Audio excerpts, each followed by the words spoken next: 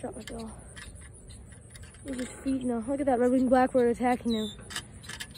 Red-winged blackbirds fear nothing. I don't know. He's probably eating some dead fish or something. Or, uh, yeah, probably got a fish.